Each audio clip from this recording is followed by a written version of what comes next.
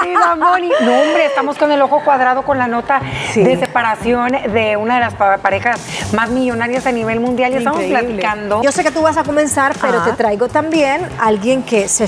Debido a que sabemos que hace un par de semanitas de acá, eh, de la colonia y todo, te decir, bueno, tal vez hay alguna, algún vínculo. Si tú me explicas que... Buenas felicidades a este abuelo, mira, oh, sí. que está guapo, Mónica. Sí, sí, bueno, ahí que se... Que yo les vengo a hablar... ¿Y de quién, Hablábamos de que se separaron después de 27 años, Bill y Melinda.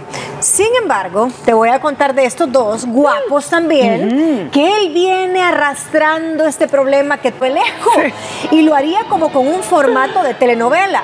¿Por qué? Porque todo lo que ha pasado es pasa en las películas, pasa en la vida real, pasa en la está ganando todavía el corazón, está volviéndose a ganar el corazón de los mexicanos. Cuando inició la novela Vino el amor, ahí empezaron ellos a ver la boda de este par de guapos. ¿Tú la verías, Moni? No me interesaría mucho. Eh, sí, sí, sí, cuando me di cuenta tengo ahí un par bien cerquita. Es un tema bien interesante. Termino niñas. Solo nómadas. Solo nómadas. Pero digital no. Igual yo me quedo ahí, es más lo que sea.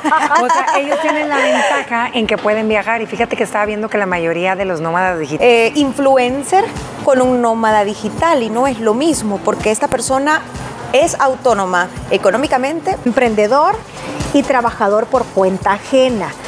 Ya vamos a detallar más adelante, pero ahí entra lo que tú decías, Gina, que puede ser... De y lo platicaba contigo, Moni, pues muchas empresas que antes no apostaban al trabajo online. Pero ¿por qué surgieron? ¿Qué pasó en la historia?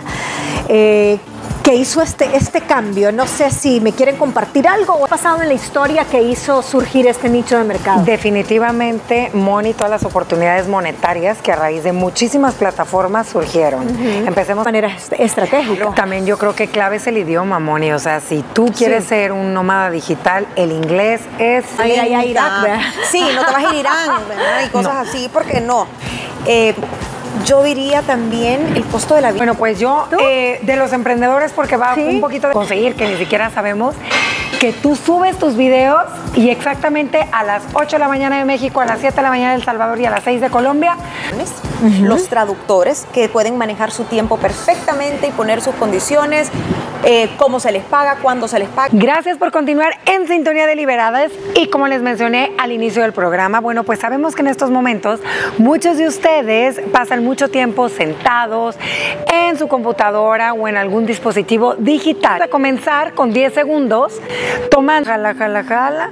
Inhale y exhale y si puede, cierre sus ojos y aproveche estos. Número dos, con ambas manos vamos a...